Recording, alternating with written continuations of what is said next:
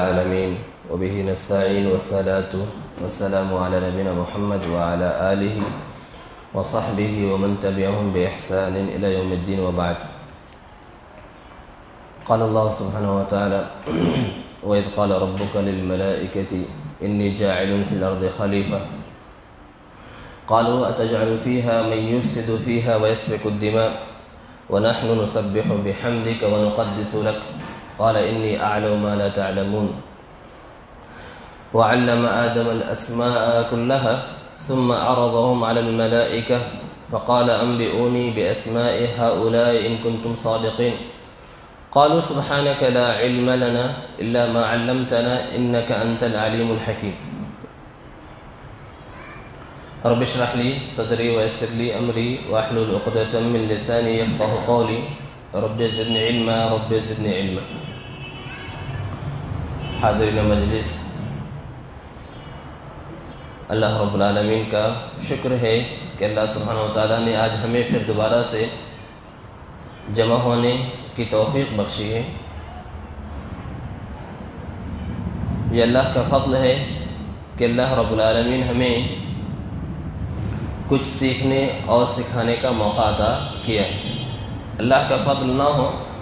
उसकी तौफीक ना हो तो बंदा कुछ भी नहीं कर सकता।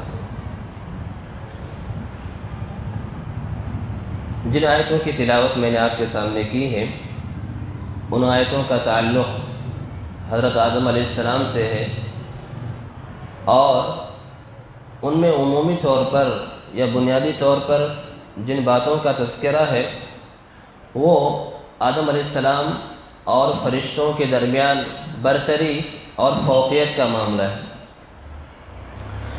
आदम आसमाम को अल्लाह रब्बुल आलमीन ने अपने हाथों से बनाया और फरिश्तों को जब ये बात बतलाई कि वो एक मख दुनिया में मखलूक बनाने जा रहा है तो फरिश्तों ने अल्लाह सुबहान ताला से ये बातें गुजारिश में अर्ज़ की कि दुनिया में मखलूक को पैदा करने की क्या वजह है? अगर आपको इबादत का मसला है, इबादत की बात है तो हम लोग इबादत के लिए है ही। वनसब बेहमदी का नक़दसलक हम आपकी पाकि बयान करते हैं, आपकी जो है बुजुर्गी बयान करते हैं, आपकी हमद बयान करते हैं। तो अगर इबादत की बात है तो इबादत तो हो ही रही है। अगर उसके अलावा कोई मामला है तो दीगर बात है। अल्लाह ने उन्हें बतलाया, अल्लाह सुबहान तआला ने उन्हें बतलाया कि मैं वो कुछ जानता हूँ जो आप नहीं जानते। कल इन्नी आलम अला तमून मैं जो जानता हूँ, आप वो नहीं जानते।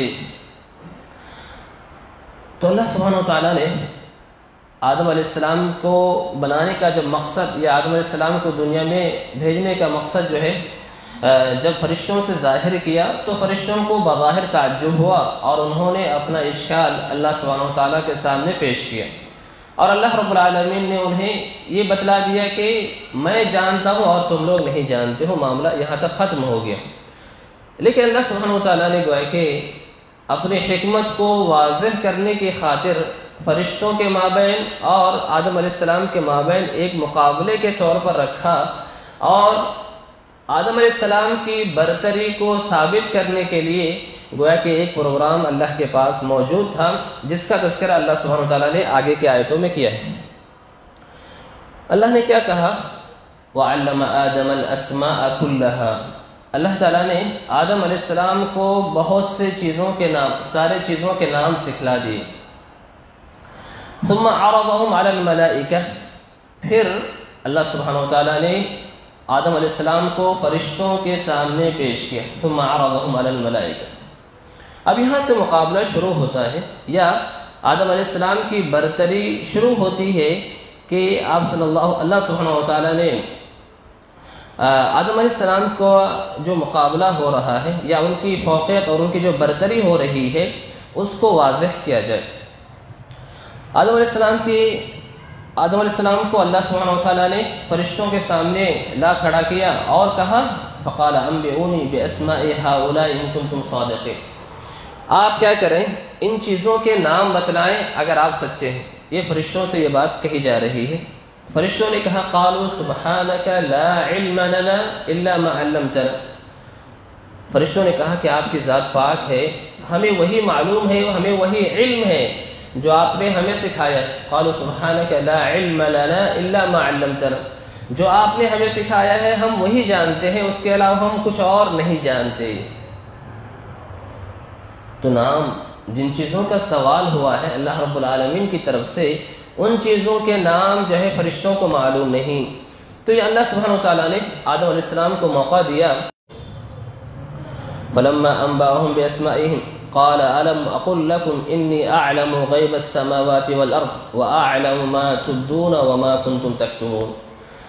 आदम सलाम को चूंकि इन चीज़ों के नाम अल्लाह रब्बुल आलमीन ने सिखलाए थे तो उन्होंने आसानी के साथ उन चीज़ों के नाम जो है बतला दिए जब नाम बतला दिया तो अल्लाह सुबहान तआला ने फरिश्तों से कहा कि मैंने तुम्हें नहीं कहा था क्या कि मैं आसमान और ज़मीन की मख्फी तमाम चीज़ों को जानता हूँ और मैं उन चीज़ों को जानता हूँ जिसको तुम ज़ाहिर करते हो, और उन चीज़ों को भी जानता हूँ जिसको तुम क्या करते हो, छुपाते हो। अब यहाँ गौर कीजिए कि आदम सलाम के माबेन और फरिश्तों के माबेन, या अल्लाह आदम सलाम की बरतरी को साबित करने की खातिर अल्लाह रबालमीन ने जो इल्म के दरमियान, इल्म की बुनियाद पर फरिश्तों में और आदम सलाम में मुकाबला करवाया ताकि आदम सलाम की जो बरतरी है, फरिश्तों पर वाज हो जाए, फरिश्तों पर साबित हो जाए। अब यहाँ इस वाक़े में गौर कीजिए कि जो चीज़ आदम सलाम के बरतरी की वजह बनी, वो गोया कि आदम सलाम का वो इल्म है, जो अल्लाह रब्बुल ने आदम सलाम को सिखलाया था। सबका दर्स में भी हमने इस मसले से मुतल गुफ्तु थी, की थी और इल्म के से मुतल बहुत सी आयात और अहादीसों का हमने ज़िक्र किया था। इसी मकसद की खातिर के है कि इल्म की अहमियत हमारे दिलों में उजागर हो। इल्म का मकाम और मरतबा हमारे दिल में जो है जागे और हम इल्म हासिल करने की कोशिश करें, हम सीखने की कोशिश करें और हम जितना हो सके हम इल्म के हसूल में हमारे अंदर लगन पैदा हो और हम जो है, हमारे दिल में उसके सीखने की तड़प पैदा हो। बहुत सी आयतों का हमने ज़िक्र किया था। सुरे अलग की आयतों से लेकर के बात शुरू हुई थी और बात जाकर के कुरान मजीद की तिलावत पर ख़त्म हुई थी। और इल्म की बात ही हाजरीन और सामीन ऐसी है कि जितनी ज़्यादा गुफ्तु की जाए, जितना ज़्यादा बतलाया जाए, जितना ज़्यादा समझाया जाए, गोया कि वो जो है नाकाफ़ी है। और हमें इल्म से वाबस्तगी होनी चाहिए, हमें ये शौक़ पैदा होना चाहिए कि हम इल्म हासिल कैसे करें? कैसे हम जो है दीनी उल्म सीखें? कैसे हम आ, आ, जो इल्म सीखें जिससे हमारी इबादतें दुरुस्त हों? इसलिए कि कम से कम वह इल्म सीखना हर आदमी पर ज़रूरी है जिससे उसकी इबादत क्या होती है? जिससे उसकी इबादत जो है सही हो जाएगी। आदमी के पास इल्म ही ना हो और वह इबादत करता चला जाए तो वो पता नहीं कैसे इबादत करेगा। क्या जो है पढ़ेगा और क्या अमल करेगा, उसके पास जो है उसका इल्म ना होने की वजह से गोया कि वो अमूमन बसीरत के साथ, जानकारी के साथ गोया कि वो वैसी इबादतें नहीं कर पाता है।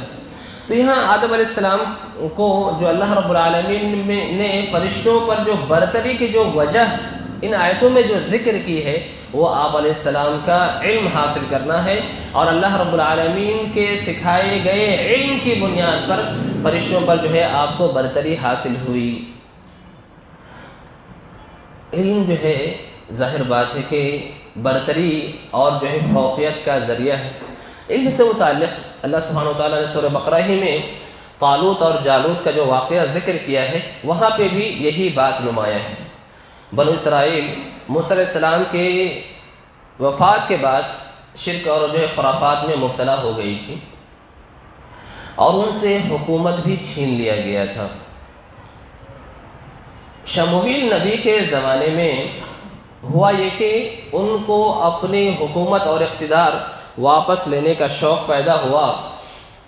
तो उसके लिए तरीक़ा क्या है? उसके लिए ज़ाहिर बात है कि अल्लाह की राह में जिहाद करना और दुश्मनों से मुकाबला करके अपने खोए हुए हुकूमत को वापस लेना यही एक ज़रिया करार पाया कि इसी के ज़रिए से हम अपनी जो है, अपने जो घरों से हम निकाले गए हैं, हम उसे वापस ले सकते हैं। ज़ाहिर बात है कि वो लड़ाई करने के लिए, जंग में हिस्सा लेने के लिए कोई एक माहिर कमांडर की ज़रूरत है, क़्यादत करने वाले की ज़रूरत है, रहनुमाई करने वाले की ज़रूरत है। और उस ज़माने में मामला ऐसा था कि एक तरफ़ नबूत का सिलसिला चलता था और दूसरी तरफ़ जो है हुकूमत और बादशाहत का सिलसिला चलता था। दो अलग अलग मामला थे, हुकूमत कोई और संभालता। अगर नबूत की कोई बात होती तो नबूत के बाद जो है दूसरे ख़ानदानों में हुआ करती थी। तो यहाँ जो जिस बंदे का इंतखब हुआ, अल्लाह ताला ने उसके बारे में फरमाया, वज़ादहू बस तन फिल बस तन फिल वलजिस्म तालूत का इंतखब हुआ, तालूत का इंतखब हुआ। नबी ने उन्हें बतलाया कि अल्लाह रबालमीन ने तुम्हारे कमांडर के तौर पर, तुम्हारे जो है कायद के तौर पर, तुम्हारे बादशाह के तौर पर जो जिस बंदे का इंतखब किया है, वो तालूत है। अब ज़ाहिर बात है कि इंतखब ऐसा था कि जिसका बंदे, उस आदमी का ताल्लुक तालुक का ताल्लुक ना तो बादशाह वाले ख़ानदान से था और ना ही नबूत वाले ख़ानदान से था। लोगों ने फ़ौर एतराज़ किया कि ये बंदा ऐसा है, हम उससे हुकूमत के ज़्यादा हकदार हैं।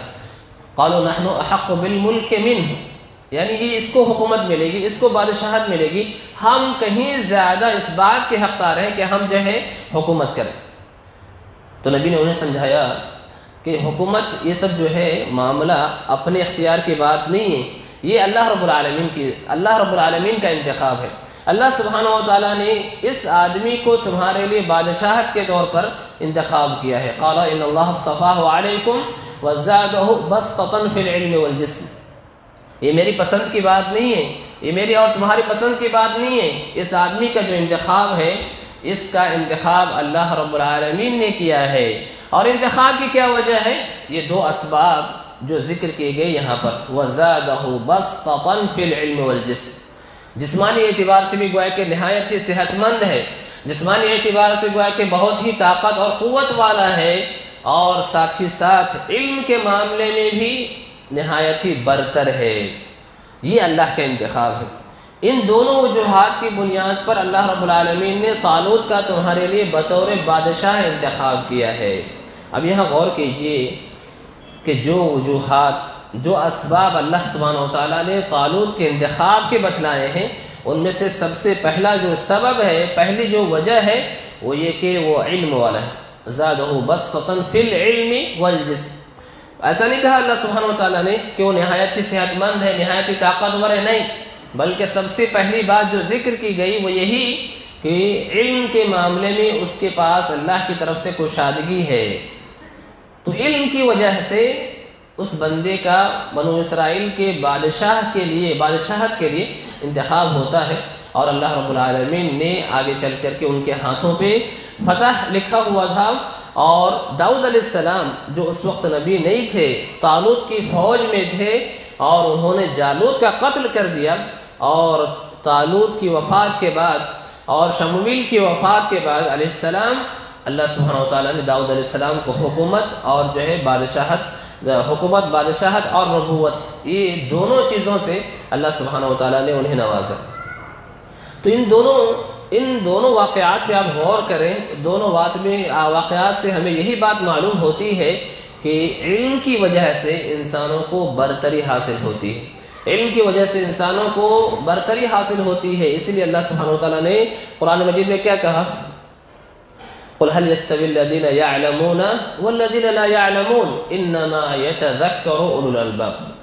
जो जानता है बंदा वो और जो नहीं जानता है वो दोनों बराबर नहीं हो सकते अक्लमंद ही क्या करते हैं नसीहत हासिल करते हैं तो इल्म वाला है वो और गैर इल्म वाला है वो दोनों बराबर नहीं हो सकते कैसे बराबर हो सकते हैं एक आदमी जिसके पास अल्लाह सुबहान का इल्म है उसके शरीयत का इल्म है उसके दीन का इल्म है और एक आदमी जिसके पास कुछ भी नहीं है, वो दोनों कैसे बराबर हो सकते हैं?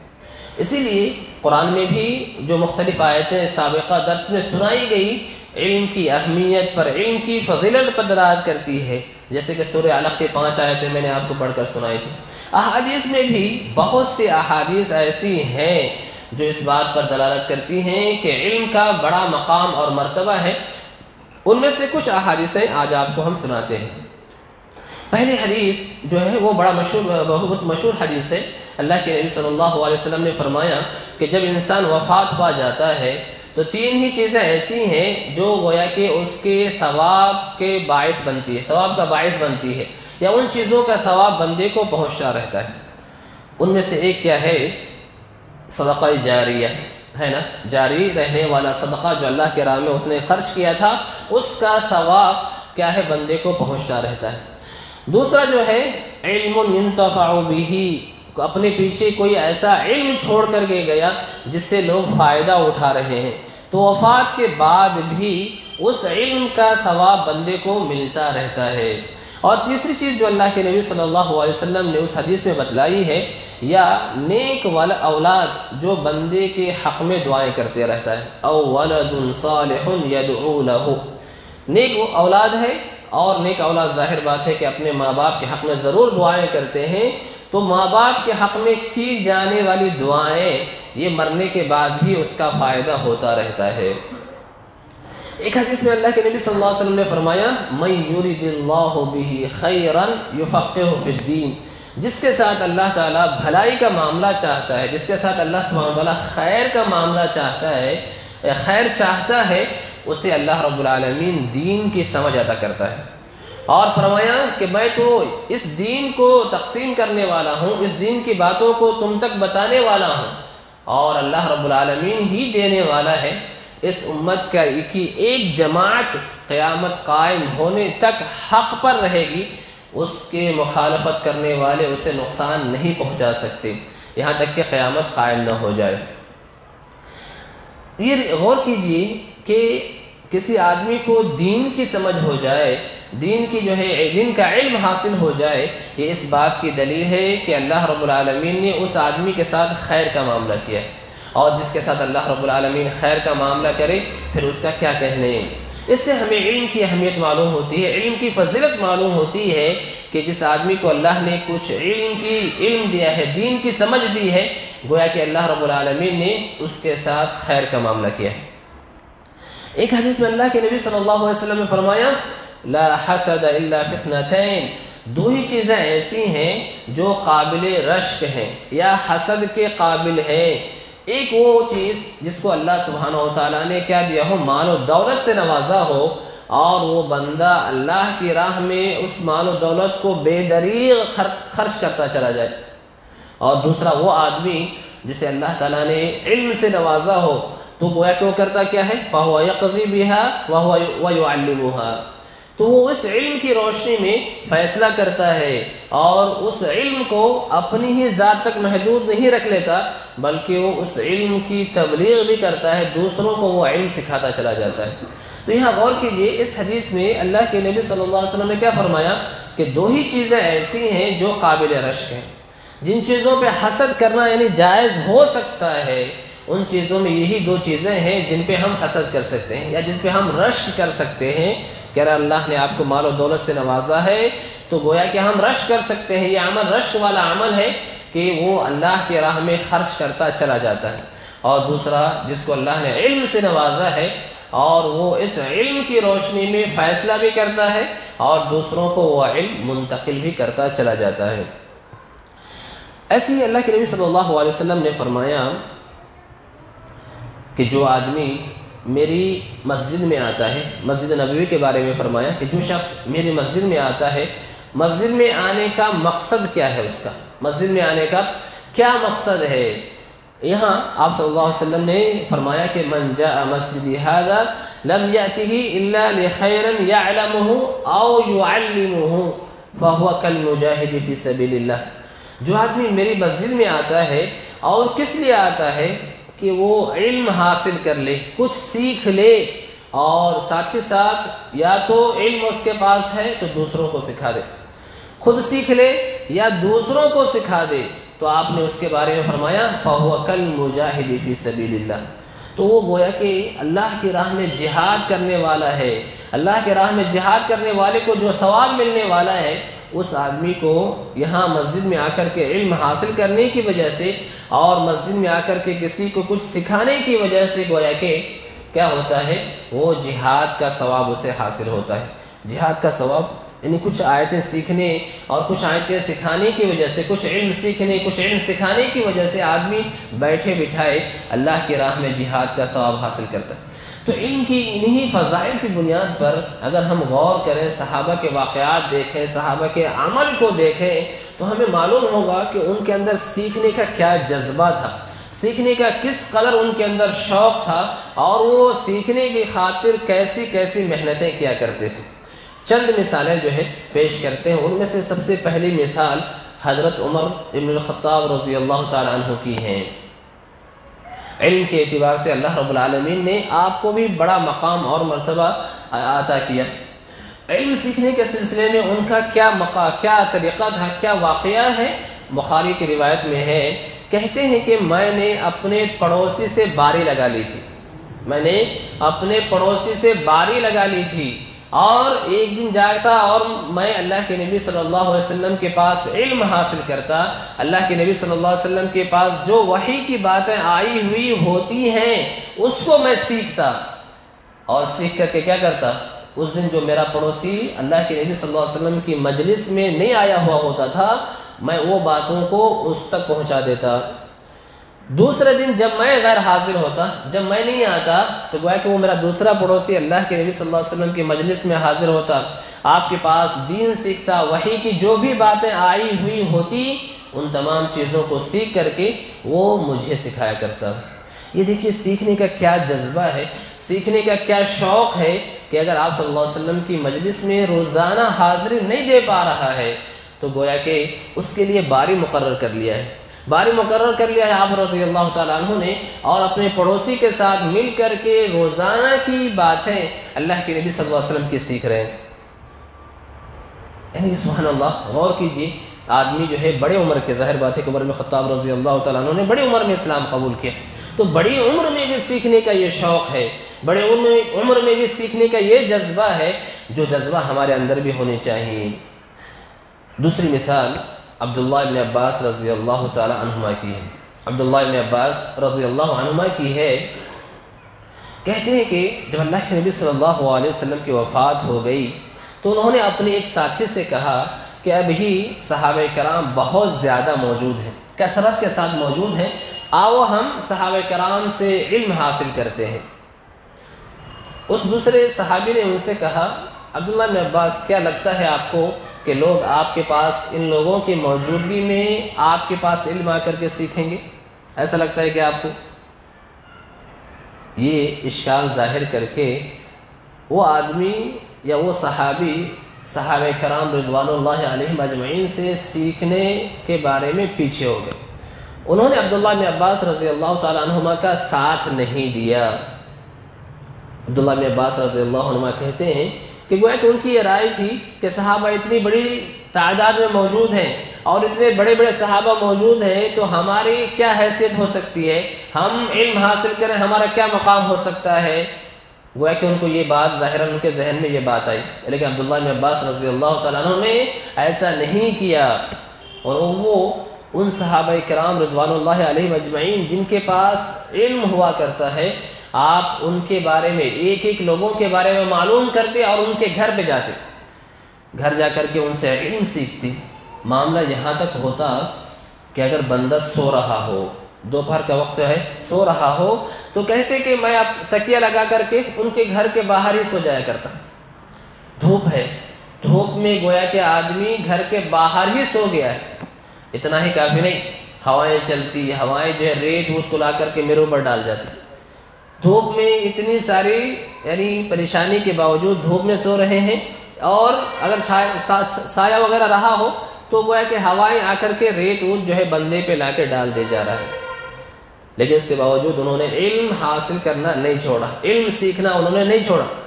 जब जिनके पास उनको जाना था, वो आदमी, वो सहाबी जब घर से निकलते तो ताजुब करते, हैरत में पड़ जाते कि अब्दुल्ला में अब्बास रज़ी अल्लाह तु आप सल्लल्लाहु अलैहि के चचा के लड़के, आपके बानी इतना मकाम और मरतबा, अल्लाह के नबी सल्लल्लाहु अलैहि वसल्लम के ख़ानदान वाले। और मामला यह है कि मेरे घर पर पहुँचे हैं, धूप में सो रहे हैं, और गोया के धूप में मिट्टी हवाओं की वजह से आपके बदन पर पड़ा हुआ है। कहते कि अगर आपको ज़रूरत थी तो आप जो है मुझे कहते मैं आपके पास आ जाता और आपको हदीसें सिखा देता। आपको मेरे पास वो सब इल्म से है, जो भी इल्म है, मैं आप तक पहुँचा देता। आप अगर दरख्वास्त करते, आप जो कहलवा भेजते तो। आप रज़ी अल्लाह तु कहते कि इल्म का हक तो ये है कि इल्म वाले के पास आया जाए। इल्म का हक यही है कि इल्म वाले के पास आया जाए, ना कि इल्म वाले को बुलाया जाए। मैं आपके पास आया हूँ ताकि आप जो अल्लाह के नबी सल्लल्लाहु अलैहि वसल्लम की अहादीस हैं आपके पास हैं आप वो मुझे सिखलाएँ। यहाँ देखिए अब्दुल्ला अब्बास रज़ी अल्लाह तुमा क्या मेहनत कर रहे हैं, क्या कितनी तकलीफ़ बर्दाश्त कर रहे हैं कि आप रज़ी अल्लाह तु धूप बर्दाश्त कर रहे हैं, मिट्टी उट्टी आप पर आ जा रहे फिर भी कोई आपको फ़र्क नहीं पड़ रहा है। लेकिन आप आप रज़ी अल्लाह तु अल्लाह के नबी वसल्लम की हदीसों को सीखने के इतने शौकीन हैं। सबका दर्स में हमने एक आपको वाक़ सुनाया था। उस वाक़े में यही बात मालूम होती है कि बंदे को सीखने का कितना शौक़ है है कि नहीं? मदीने से बंदा कहाँ पहुँचा है? दिमश्क पहुँचा है। मदीने से एक सहाबी, एक आदमी दिमश्क अबू दरदा रज़ी अल्लाह तु के पास पहुँचा है। मकसद क्या है? वो एक हदीस सुने जो अबू दरदा रज़ी अल्लाह तु अल्लाह के नबी सल्लल्लाहु अलैहि से सुनाते हैं। मदीने से दिमश्क, मदीने से दिमश्क इसी मकसद की खातिर पहुँचा है कि वहाँ जाकर के सिर्फ़ एक हदीस जो अब्दुल्ला अबू दरदा रज़ी अल्लाह तु अल्लाह के नबी सल्लल्लाहु अलैहि से सुना रहे हैं, उसको जाके सीखें। तो ये मर्द हजरात के नमूने हैं, सहाबा कराम रिजवान मजमैन के नमूने हैं, जो सीखने के मामले में इस कदर जो है दिलचस्पी रखा करते हैं, और सिर्फ़ एक हदीस की खातिर इतनी लंबी लंबी मसाफतों का सफ़र करके जाकर के अल्लाह के नबी सल्लल्लाहु अलैहि वसल्लम की एक हदीस को सीखते हैं। लेकिन औरतें भी आप सल्लल्लाहु अलैहि वसल्लम के इल्म हासिल करने में, सीखने में पीछे नहीं है। सीखने में पीछे नहीं है। हत आयशा रज़ी अल्लाह तहा क्या मकाम और मरतबा है? आपने आप जो है, औरतों में सबसे ज़्यादा अल्लाह के नबी सल्लल्लाहु अलैहि वसल्लम की रिवायत, अहादीस आप रज़ी अल्लाह तहा से मरवी हैं। आप अंसार की औरतों के बारे में क्या कहती हैं? नमन निसाओ, निसाउल अंसार। लम यकुन यमनाउहुन्नल हयाउ फिद्दीन आप रज़ी अल्लाह तआला अंसार की औरतों के बारे में कहते हैं कि अंसार की औरतें क्या ही बेहतरीन औरतें हैं कि शर्म हया इस बात से माने नहीं है कि वो अल्लाह के दीन की समझ हासिल करें। शर्म हया इस बात से माने उनके लिए नहीं हुई कि वो अल्लाह के दीन हासिल करें, अल्लाह के दीन को सीखें। बल्कि अल्लाह के नबी सल्लल्लाहु अलैहि वसल्लम की मजलिसों में ज़ाहिर बात है कि मस्जिद में उमूमन आप सल्लल्लाहु अलैहि वसल्लम की मस्जिद हुआ, मजलिस हुआ करती थी। आप सल्लल्लाहु अलैहि वसल्लम मस्जिद में बैठे, साहब कराम बैठते, आप सल्लल्लाहु अलैहि वसल्लम दीन की बातें सिखलाते रहते। हदीस जब्राइल में हमने देखा कि आप सल्लल्लाहु अलैहि वसल्लम मस्जिद में बैठे हुए थे कि जब्राइल आकर के सवालात किए और दीन की बातें सिखलाए। तो आपकी मजलिस मस्जिद में हुआ करती थी और आप दीन की बातें सिखलाया करते थे। ज़ाहिर बात है कि मस्जिद में उमूमन आपके सामने मर्द हजरात ही होंगे, औरतों ने शिकायत किया। अल्लाह के नबी सल्लल्लाहु अलैहि वसल्लम, आपकी जो मजलिसें होती हैं, सारे के सारे मर्द हजरात होते हैं, हम गोया के इल्म हासिल नहीं कर पाते। आप हमारे लिए एक दिन ख़ास कीजिए, जिसमें आप हमें इल्म सिखाएँगे। आप सल्लल्लाहु अलैहि वसल्लम ने गोया कि उनसे एक दिन का वायदा किया, और उस जगह जाकर के आपने उन्हें नसीहत की, उन्हें दीन की बातें सिखलाई। तो औरतें भी आप सल्लल्लाहु अलैहि वसल्लम से इल्म हासिल करने में, इल्म सीखने में गोया के पीछे हरगिज़ नहीं रहा करती थी, बल्कि वो भी इस बात की कोशिश करती कि गाहे बगाहे अल्लाह रब्बुल आलमीन, अल्लाह के नबी सल्लल्लाहु अलैहि वसल्लम से आकर के इल्म सीखा करें। बल्कि बहुत से ऐसी मिसालें हैं कि जिसमें उनके घर में कोई मसाला हुआ, कोई परेशानी की बात हुई फ़ौर अल्लाह के नबी सल्लल्लाहु अलैहि वसल्लम के पास पहुँचे और अपने उस मसाले के बारे में अल्लाह के नबी सल्लल्लाहु अलैहि वसल्लम से दरियाफ्त कर लिया। फ़ौरन फ़ौरन अल्लाह के नबी सल्लल्लाहु अलैहि वसल्लम के घर में पहुँचे और आप सल्लल्लाहु अलैहि वसल्लम से उन मसाले के बारे में उन्होंने सीख लिया। तो ये सीखने का जो जज्बा है, हमारे अंदर भी होनी चाहिए। हमारे अंदर भी यही जज्बा होनी चाहिए। हमें इस बात की शदीद कोशिश करनी चाहिए कि हम भी अल्लाह के नबी, हम भी क्या करें, दीन का समझ हासिल करें। हम दीन सीखें। ये मजलिसें बहुत ही बाबरकत मजलिसें होती हैं जो इल्मी मजालस होती हैं। इनकी फजलतें बहुत सारी आई हैं बेदिल्ला ताला। जब हम कुरान के सिलसिले में बातें करेंगे तो बेदिल्ला ताला वहाँ पे हम उन अहादीस को ज़िक्र करेंगे। अल्लाह रब्बुल से दुआ है कि अल्लाह सुबहाना ताला हमें इल्म इल्म नाफ़े और अमल सालह की तोफ़ी अदा फ़रमाए। सुबहान रबिक रब्बिल इज़्ज़त अम्मा यसिफून वसलाम अलल मुरसलीन वल्हम्दुलिल्लाहि रब्बिल आलमीन। अल्लाम वरहमल वर्का